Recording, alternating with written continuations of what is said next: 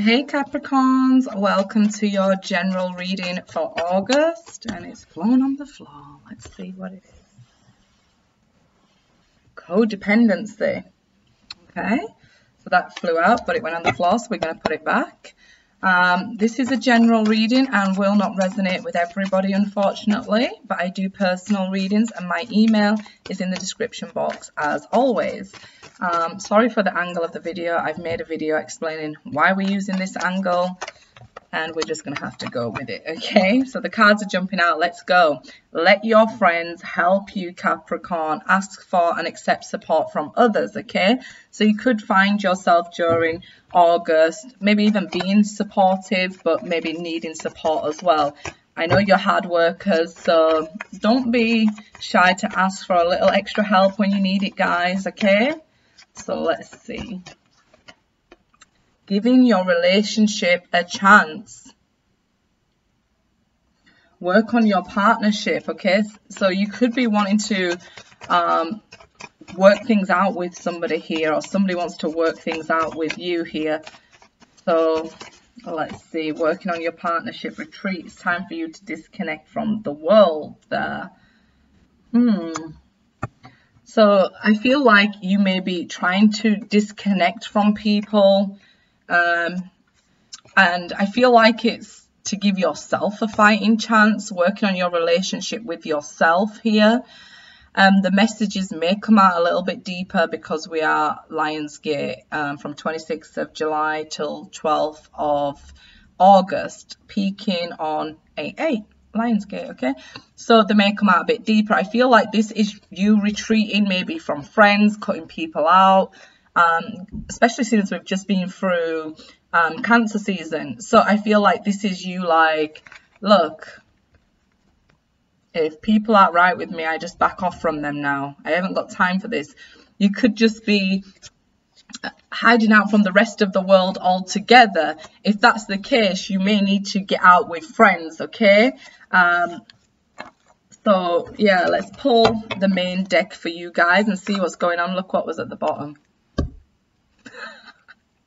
not even going to say it, guys. You know it already. I'm not even going to say it. Get over them already. Joking.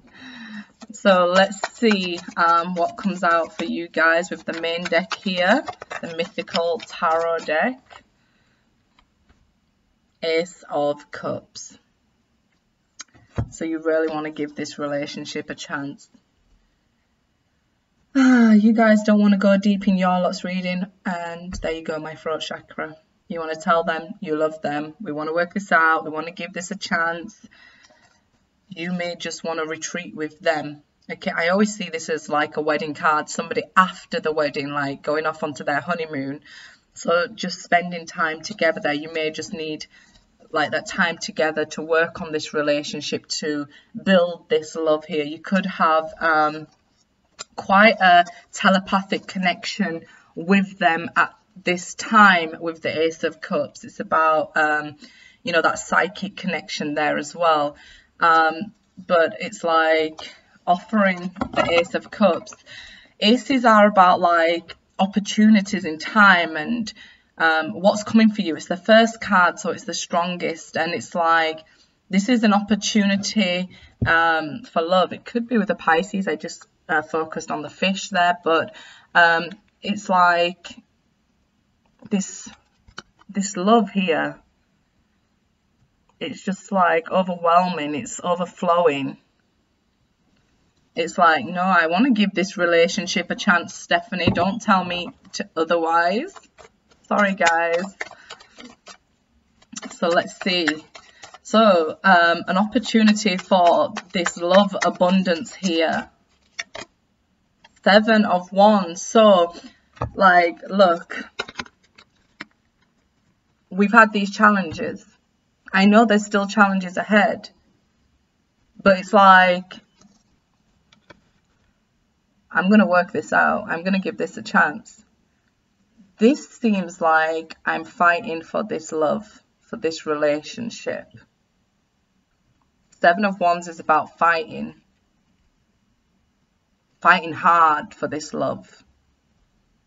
Because look, Look what's between us, love.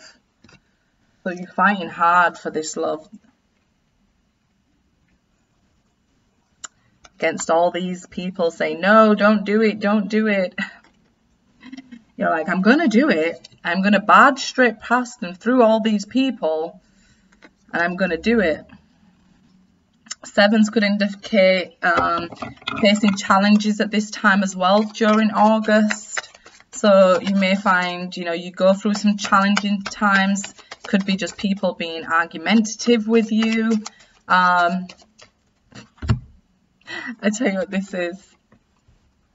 Leona Lewis, I don't care what they say. I'm in love with you. They tried to pull me away, but they don't know the truth. So, what is Leona Lewis, Bleeding Love? That's what I heard. So, yeah, and when I looked at the bottom, there was the Four of Cups offer. Shouldn't have looked at the bottom, but there we go. Okay, moving on. So I get it, you're fighting for this love, Capricorns, or they're going to fight for your love here. It seems like they're going to try and recruit help. So I'm going to get my friend to talk to you, find out what's going on with you here. Um, so, you know, it seems like somebody's trying to help here. Nine of Swords. So don't focus on the worst case scenarios. Could be a blockage for you. But it could be something like stress and anxiety, worry, sleepless nights. So I feel like you you may be like having these sleepless nights, but we have had like so many eclipses and so much going on in the solar system that sleepless nights are kind of understandable. Um, but don't let that um, hold you back. None of these knives are in the person. It's like focusing on the worst case scenario. You could be having nightmares. Okay, so in a nightmare, it could be that you know you're dreaming of them with somebody else. It could be quite upsetting to you. So if you are quite moody at this these times, it could be you're feeling you're worrying about things that aren't actually happening. So like I just said, um, you could be worried that they're with somebody else or you'll never have them back or never going to give this a chance. It's like focusing on the worst case scenario and worrying about things that haven't even happened yet. Um, so that's the Nine of Swords there. Could be things, you know, these Seven of Wands, these troubles happening that are bringing you anxiety at this time as well during August. The Six of Cups, somebody from your past returning to your life, Capricorn. Um, it's a soulmate connection. So I definitely feel you love this person. If you don't love, um, you know, this soulmate connection that you have at the moment, then I don't feel like this will resonate with you. This is some, this is like somebody you're deeply in love with. You've been through these troubled times with. They've caused you this anxiety, this stress. Don't let creep back in during um, Leo season um, during this fire season. Don't let creep back in, please. We're heading into Virgo season, so if you react to things that aren't even happening when we get to Virgo season, you'll have to answer for them. So it's like if you create drama when we get to Virgo season, it'll be more drama, okay? Um, this is like you're just totally focused on the positive, the love that was between you, you guys. It's like I remember these beautiful things that happened between us. And not to bring a downer on it, but I feel like there was arguments and anxiety here too. But I feel at the moment you may be focused on the love in this soulmate and you you could take it out on other people. So I would suggest at this time, if you're feeling a bit moody and a bit stressed, retreat. Believe you me, when I said I should have ghosted and not spoke to anybody. I should have listened to myself. Often we ignore our own intuition. Six of Cups here. And then we lead into um, situations we don't really want to be in, more um, challenges sort of thing, okay? So this is like um, an offer being made to you or your soulmate, an opportunity to connect with them, okay? So don't worry if the opportunity hasn't arisen yet. Um, it will do, okay? It will. you may still have blockages in the way and that's stressing you out like I've got things going on in my life and I want this sorting out. Well, you know, you're worrying about things that haven't happened. So I understand anxiety is real, but the things that you're worrying about haven't even happened yet, okay? So maybe, for example, if you're worried about health and you worry and you worry and worry, you'll worry yourself sick because you're focused on it. So don't focus on the worst case scenario, okay? Because you'll manifest it either way. Um, with the Ace of Cups, that's about, um, you know, psychic ability and a psychic connection and, you know, your feelings and your emotions. So if you're putting it all into this negative Nine of Swords energy, you will manifest um, stressful uh, things, challenges in your way. So don't do that, okay, guys? Um, really focus then on the positive. Let your friends help you. So if you are stuck inside and hiding out from the world, let your friends drag you out, you know, or get out for a walk in nature your, by yourself. The Fool card. So this new beginning is coming. And I feel like you want this opportunity for this new beginning. You're ready to jump here, but little things keep holding you back and it's like oh what's going on here? What's the blockage? Um a lot of people okay see like in personal readings i can talk to you personally but in a general let's give some general blockages okay? Um too much focus on the other person then shall we say? Um you know just not really enjoying yourself because you're over worried about somebody else and what they're doing in their business. You know, their business is none of your business. It's only going to cause you stress and worry that you don't need. So maybe you're like, oh, well, they're going out and having a great life and they could be sat at home. You're just making things up in your head and trying to, and it's like causing you unnecessary problems for some. Okay, so if you want this new beginning, a new opportunity with them, it's almost like you've got to get to a stage like I feel like I'm picking up like this is it's not a very nice word. It's like docile, like innocent. Okay, it's like an innocent state because we can get very bitter, like, oh well, I've been through this before, I know what they're like. If you want to connect with somebody, you've got to get back to this. This is stage one. The uh, fool is zero. So you've got to get back to that, you know, I'm ready to jump, you know, like being so innocent, like I'm going to jump, like a kid will run and jump on a sofa and jump off the sofa without worrying what's down there because their mind is so innocent. So that's what I feel. You've got to get to this stage again where you don't have all this worry on your mind. You're not worried about the challenges ahead or things that haven't even happened yet. You know, you're just like, I'm back at square one here. I'm ready to jump. I'm ready to move forward. I'm ready to trust my instinct here, my intuition. Okay? So that's the Fool there. So I think um, Aries came up in, sorry, I think Capricorn came up in Aries video. So you could be meeting a new Aries here as well. A soulmate here, an opportunity for love with them. Okay? the Hierophant, it's definitely about partnership and two people coming together. Um, this is also about learning, okay, um, and acceptance. So two major arcana as well here. So I feel like this is um, a divine spiritual journey that you're about to undertake, okay? So don't worry about what's ahead. You're protected here. Okay, this partnership, this soulmate connection is protected by the divine here. So please don't worry about this, okay?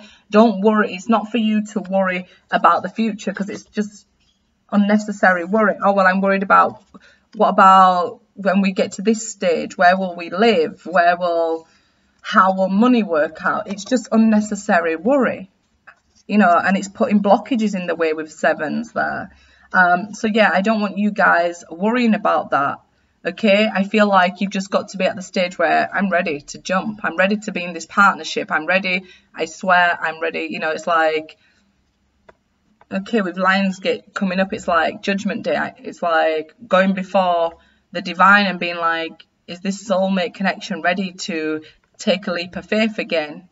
And it's not even like you can hide, lie, or anything to, to the divine. So be honest with yourself is the way to move it forward. Am I ready? Am I just focused on all good? Am I just focused on all bad? Do I have a happy balance where if it's all bad, I can retreat and take myself away? And I mean, you don't have to be honest with me. You just have to be honest with yourself. Okay, so it's up to you. Are you really at this positive stage yet where, you know, be honest with yourself here with the Hierophant and then we'll see here. Am I ready for this soulmate connection? Am I ready to completely trust like it's brand new and jump in? You know, do I trust that the divine will protect me and guide me in the right direction? These readings are going too long and too deep here. Um,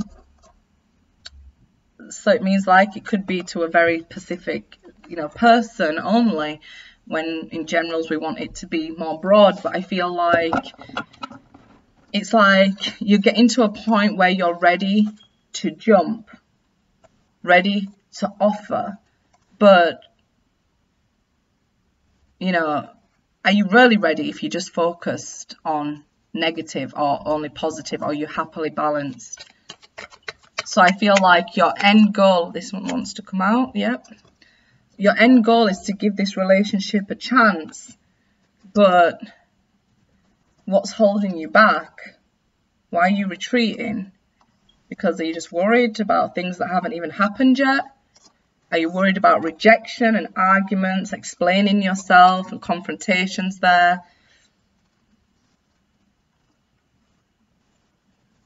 So yeah, okay, so we have um, the Ace of Wands now, okay? So definitely here, this opportunity is coming here, this offer is coming. Are you going to accept? Do you trust? Are you going to jump? Like, are you going to make the offer? Are you going to accept the offer? Are you going to trust that you was gui uh, divinely guided to the edge here? for this to be this you know this stick to be offered out hey hold on to my stick. I'll take care of you. Are you going to trust? This is like a real point where you need to use your intuition here. You really do. You need to be honest with yourself. If this is resonating with you am i ready? Like, will I take this leap of faith? I feel like you're going to take the leap of faith whether you're ready or not, because if you're not ready, you would still be like, okay, let's jump. I want this person, so, you know, I want them quickly, because then you'd be only focused on the negative, uh, sorry, the positives, the memories here. You can make new memories with this person. Oh, with a new person. Six of Pentacles. Be very honest with yourself. Are you going to self-sacrifice every time? Or are you going to have to point out, look, you have to give as much as you get? It is positive energy if it's balanced, okay? So if we have three pentacles here and three pentacles here, it's balanced energy. It's both of you wanting to work together and build on this, okay? So don't feel like, oh, if I self-sacrifice and throw myself in this pot, this person and I will be together forever. No, if you do this, you'll find a tower moment. And I'm telling you this because I want you to be able to come together. But you've got to understand balance. Okay, guys? Six is a positive energy, so it's just maybe not in this card. Just the sun. Beautiful. Okay. So are you healed? Are you enlightened? Have you got the answers here? Are you focused more on the positive? This is like Leo season that we're in. So this is the energy, the driving force behind it. You know, like we're really going to get this push Are you this phoenix rising? Are you healed? You know, be honest with yourself here because you could cause more delays if you're not. But whoever this reading's for, this is a big fat yes. Okay? This is a big fat you're you're screaming at this screen right now like I'm ready. Yes, it's me. This is my reading. That's what this card is. Yes, I'm ready for this offer. Yes, I'm ready to jump. Yes, I trust the divine because I know this is my soulmate. I know there's love. I'm not naive. I know there's challenges, Stephanie. I know I'm worried about nothing. I'm going to fix that, Stephanie. I'm going to make sure it's equal give and take. This time around, you know, it's like, that's it. And it could be with a new person but you've got to be able to get to a stage where you're giving this relationship a chance here. You trust, look, I'm protected here. I don't care, I'm protected. I'm going to jump. The divine's going to catch me. This is the offer. That's the opportunity. That's the offer coming in there. So it's an offer from a soulmate where if the offer's made to you, you say yes. If the offer's made to them, they say yes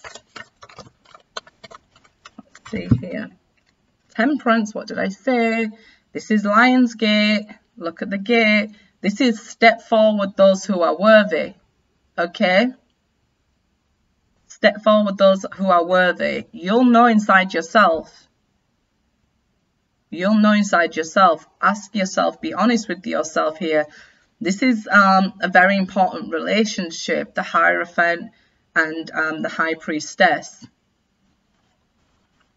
So please be honest with yourself. Trust your intuition here. Trust yourself. And trust yourself to look at the good and the bad and understand that, you know, this equal give and take that needs to happen for a partnership to happen with the Hierophant there. This is higher learning. You've learned so much, both of you here.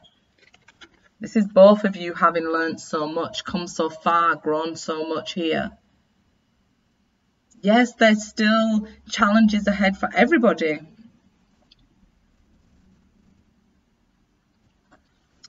But you're going to let this get away. This is like, there's no getting away from Judgment Day for anybody. But this is like step forward those who are worthy, okay? Like, good luck, guys. Truly, good luck. I hope you've done the work. I hope you're worthy and you're ready to give this re uh, relationship a chance or retreat until you are ready. Okay, that's why when in my my ex return video, I was like, -uh I'm not ready. Just be honest with yourself, guys, and it'll go a lot quicker. Good luck.